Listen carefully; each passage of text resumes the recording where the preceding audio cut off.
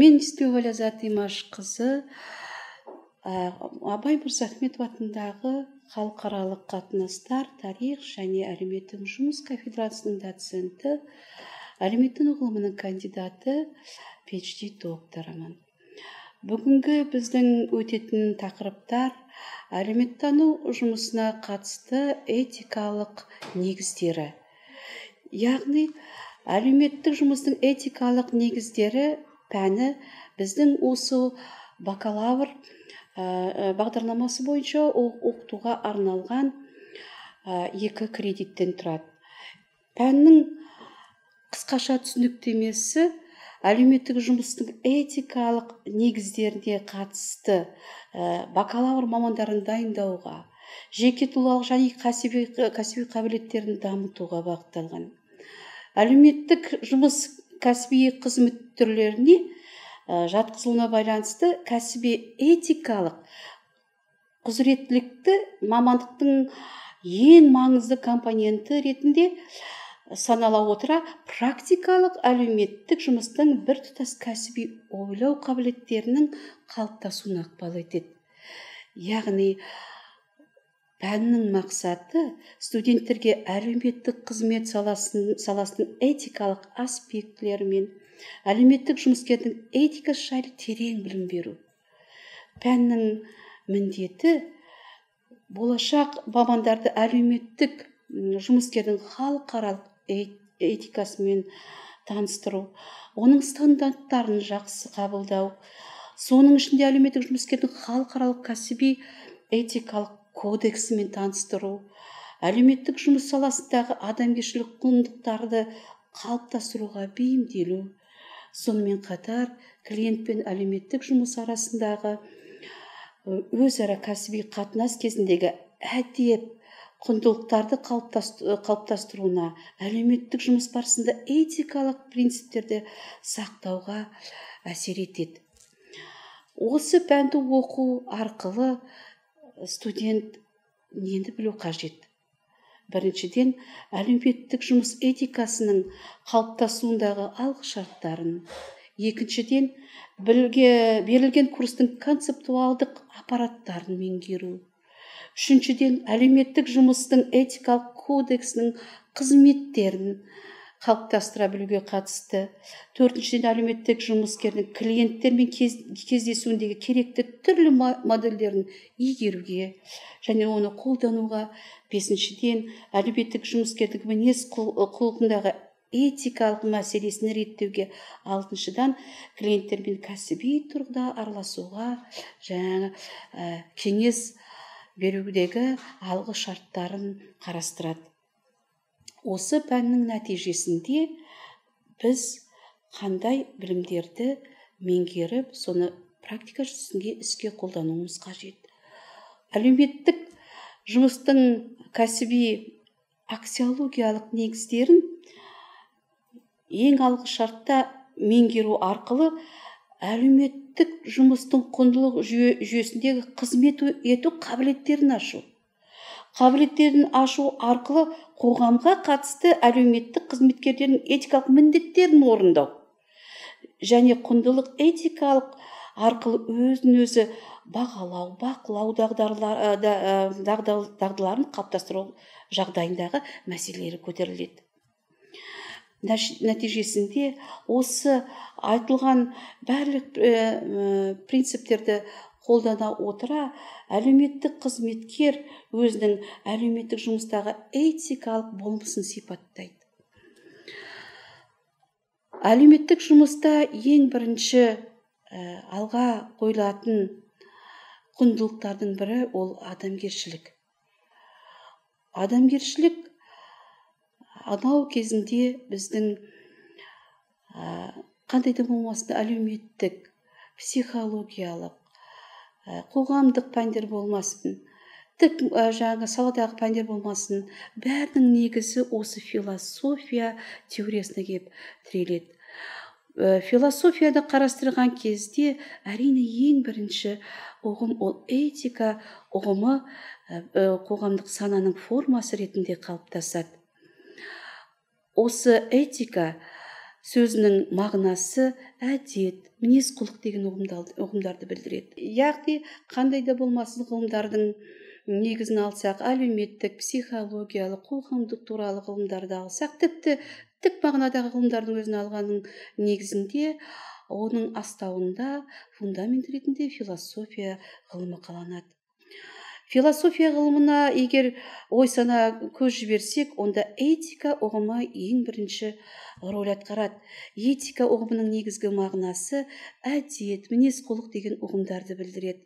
Яғни нақты дегенде ол мораль туралы ә, ілім. Оның шығу мен даму туралы адамның өмір сүру салтының аса мәнді жақтарының бірі болып табылатын адамгершіліктің түрлі қоғамдық құрылыстағы сан алуан формалары мен нормалары туралы ілімдер жүйесі деп санауға болады. Этика ғылымын қарастырып отырсақ этикада нормативтік этика және моральдық теория ұғымдары кеңінен қалыптасқан кеңінен енген. Яғни этика терминін ең бірінші философия ғылымына енгізген ол аристотель. Оны ари, мысалы осы аристотельдің ар ождан мәселесіне арналған үш шығармасынан көруге болады. Яғни ә, никомаха этикасы эвдем этикасы және үлкен этика ә, еңбектерінен қарастыруға болады.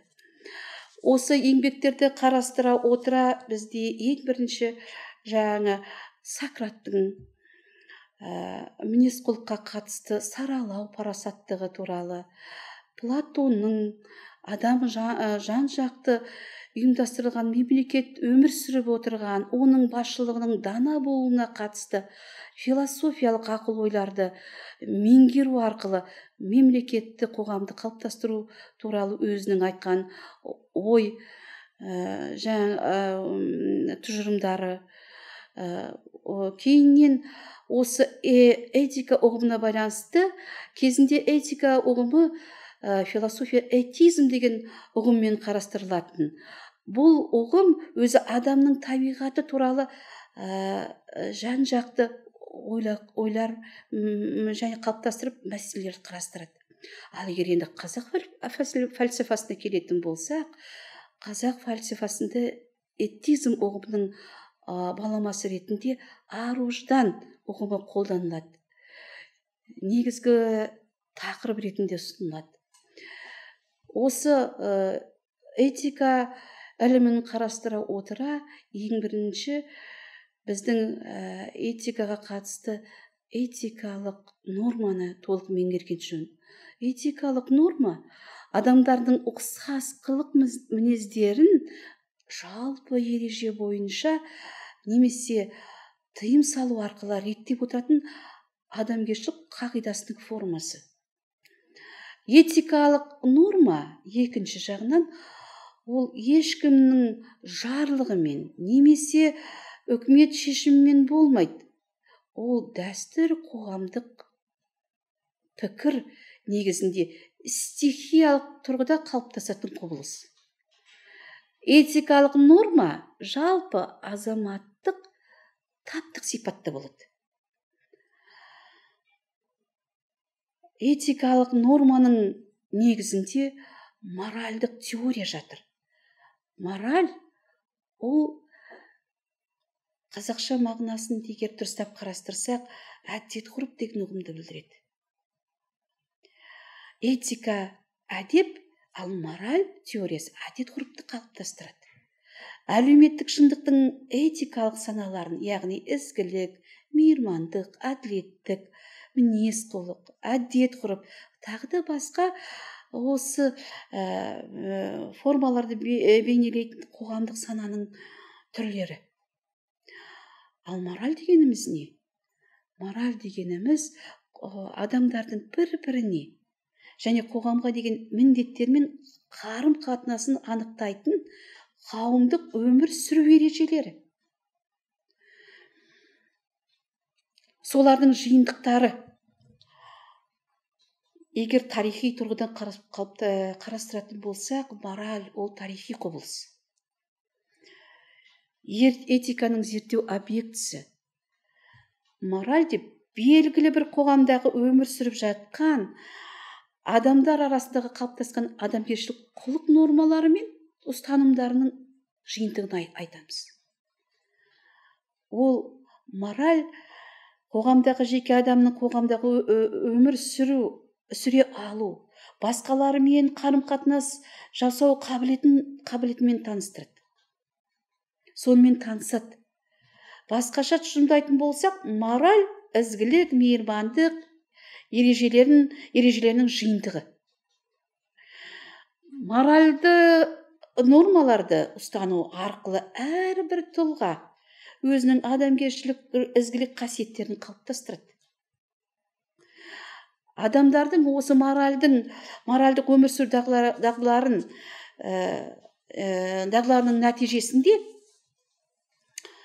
қарым қатынас жолында туындап отырған қарама қайшылықтардан шығу барысындағы тарихи түрде қалыптасқан өзіндік ә, түп түбірімен ә, көне замандардан жалғасып келе жатқан өзіндік принциптін құрастырады. Осы моральды қарастырып отырғанда әрине оның бірнеше түрін кездестіруге болады. Соның ішінде мына әлеуметтік ә, тарихи бағытта кеңінен қалыптасқан ол педагогикалық мағынада қалыптасқан ол гуманистік мораль. Гуманистік мораль шынайы адамгершілік қарым қатынастарды ынтымақтастықты ізеттілікті адалдықты кішіпейілділікті қарапайымдылықты қайырымдылықты ә, кеңінен уағыздайды.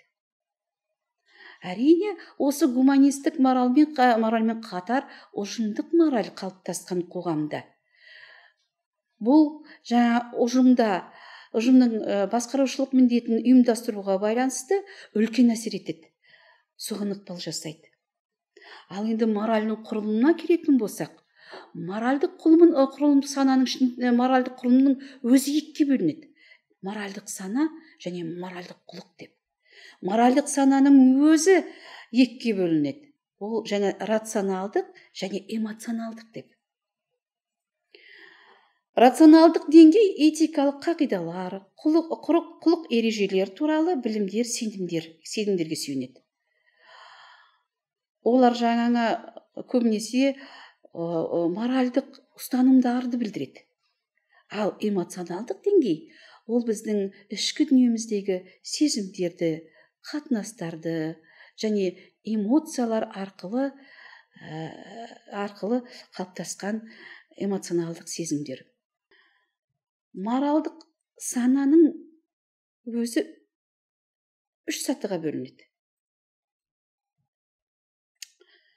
Біріншісі адамның ішкі тылсым дүниесі. Ал екіншісі ол моральдық қажеттіктер мен қабілеттіктерді эмоциялар мен сезімдерді қамтиды.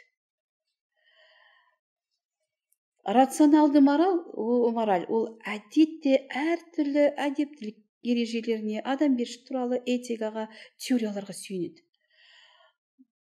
Мораль моральдық жаңағы моральдық сананың екінші сатысы былайша айтқанда он үшінші саты дейді моральдық интуиция. Ал екінші оның сатысына моральдық түсініктер жатады. Бірақ ә, интуиция арқылы әрине моральдық түсініктер бізге көбіне өте ыңғайлы және оны сезінуге бізге өте қолайлы интуициялық жаңа түйсік болып табылады мораль ә, кең мағынада айтқанда ол адамның өзін өзі өзінің табиғатын білу өзінің табиғатқа деген көзқарасын анықтау болып табылады мораль деген ұғымға келгенде көбінесе күнбе күндік көпшіліктің дүниетанымының формасын көзге елестетуге болады. Қоғамдық сананың формасына жататын ор моральдың моральдық адамдардың бір біріне деген қатынасы жаңа көзқарасы ә, мораль қоғамдық сананың ең көре көне тарихи формаларының бірі. Сондықтан осы моральды айтқан кезде әрине біздің осы ак, ә, аксиологиялық түсініктеме бойынша көбінесе көне философия ғылымына соның теориясына ә, біз сүйенеміз. Адам санасы дамыған моральдық дамыған сайын мораль моральдың ә, тигізер әсері күшейеді. Сонымен егер де келешек өркениет дамуымен елестетсек онда моральдық ұстанымдар заңынан гөрі күшті бола бермек. Яғни біздің моральдық ұстанымдар. Әдеп әде жаңа салт ғұрып негізінде қалыптаса отыра әрине біздің тәрбиеміз де өзіміздің мағынасын өзінің мәнінде жой, жоймайды.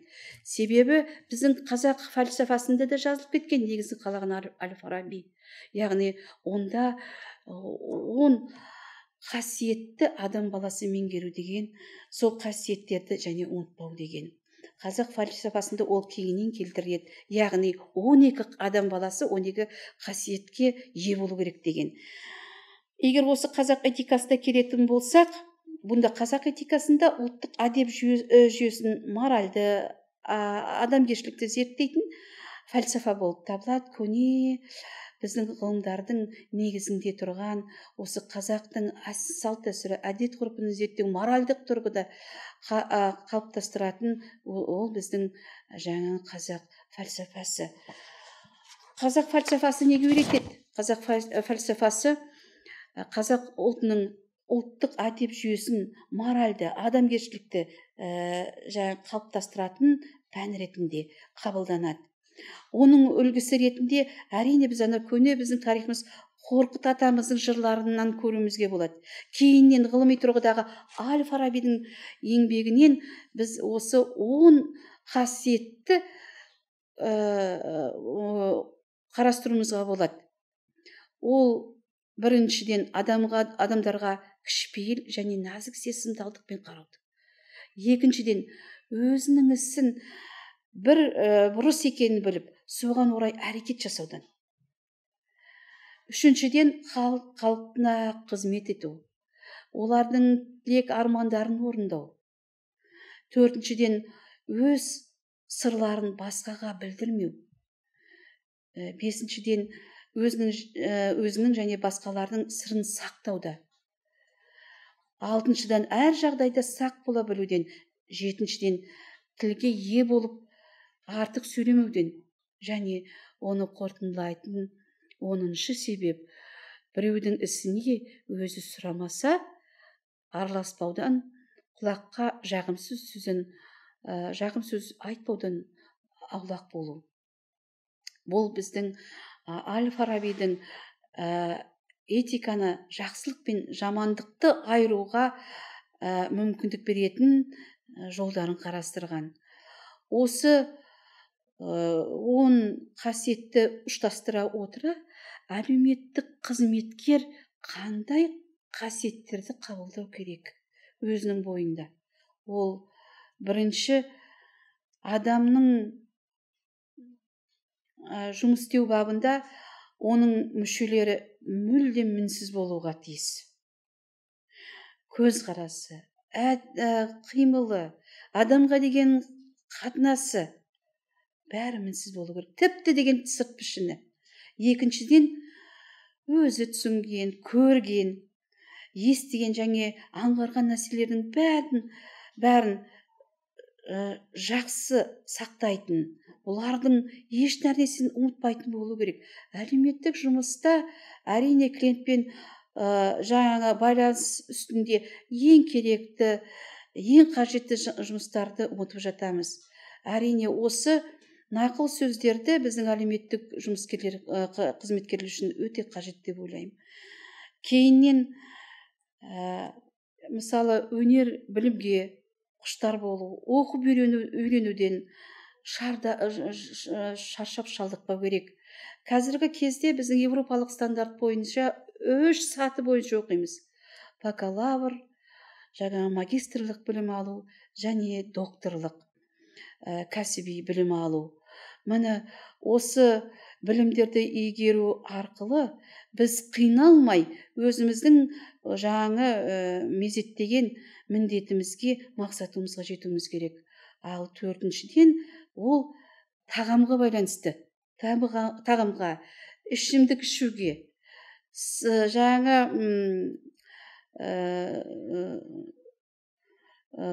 сауық құмарлықпен айналыспауға оның өзінің бәрінің шектеулі орындары бар. Әсіресе осы әлеуметтік қызметке келгенде. Және шыдамдыққа байланысты ол шыншылдыққа сүйену. Өтірік жалған жалғаннан кері оны жүк көру. Біздің клиентпен жұмыс жасау барысында біздің әлеуметтік қызметкерлер осы кейбір адамды сүйгіштікпен және осы өтірік жалған жалғанға келгенде оның біліміне байланысты кейбір оғаттықтар жүріп жатады сондықтан осы жаңағы ұштарды ескерген дұрыс. Алтыншыдан жаны асқақ және ар намысын ардақтайтын болу шарты. Ол өзінің ар намысы емес әрине өзінің жаңағы көмек сұрап отырған клиенттің ар намысын жерге ә, таптамай оны сыйлау керек. Қандай клиент болмасын қандай мәртебесі болмасын қандай жұмыс атқармасын соған қарамастан оның менмендігін сыйлау керек.